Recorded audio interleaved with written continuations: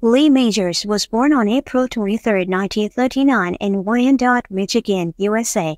As Harvey Lee Yeary, his parents, Carl Yeary and Alice Yeary, faced financial struggles during the Great Depression.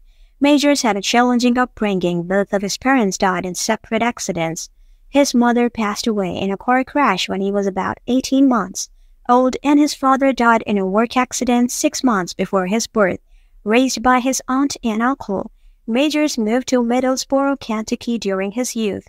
In Kentucky, he attended Middlesboro High School, participating in football and basketball.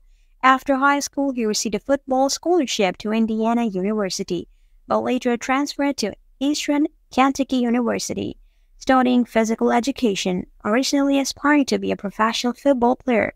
Majors had to abandon this dream due to a back injury. He did various odd jobs, including bartending and working as a park ranger.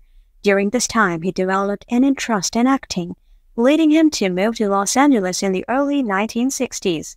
Majors began his acting career with small roles in films like Strait-Jacket 1964 and TV shows such as Gunsmoke and The Alfred Hitchcock Hour.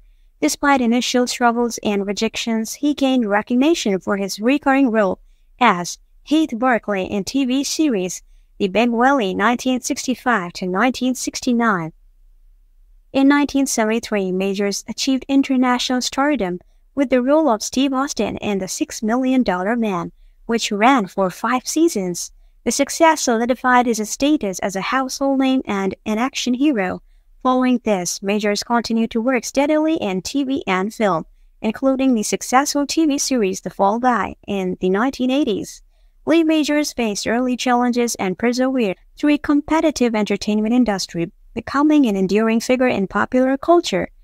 His iconic roles, particularly as Steve Austin, not only defined his career but also left a lasting impact on the sci-fi and action genres, influencing subsequent shows like The A-Team and MacGyver.